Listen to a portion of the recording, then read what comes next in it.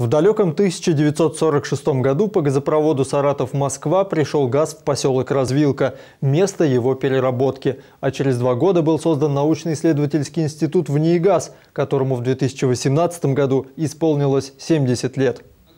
Празднование юбилея учреждения состоялось в актовом зале института. Собравшихся приветствовал его директор Дмитрий Люгай, отметив, что деятельность научного центра была и остается в высшей степени востребованной. Уважаемые коллеги, уважаемые друзья, позвольте от всей души поздравить всех вас э, с юбилеем нашего института. Выразить отдельную благодарность ветеранам института за труд и преданность делу, за формирование и бережное отношение к славным э, традициям института.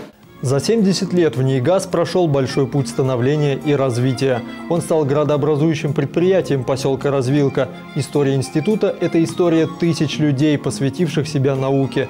Многие трудятся в учреждении не один десяток лет. Хочется отметить, что многие из них связали свою жизнь с именно с поселком Развилка. Для многих это стал родным домом поселок, и для детей, для семей это малая родина – Развилка.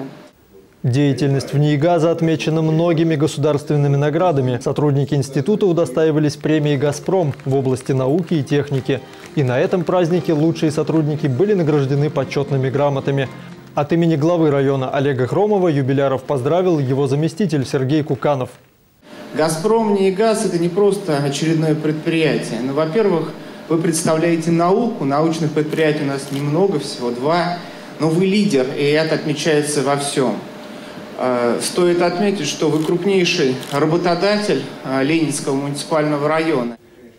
Поздравление коллективу института направил председатель правления публичного акционерного общества «Газпром» Алексей Миллер и другие представители дочерних предприятий.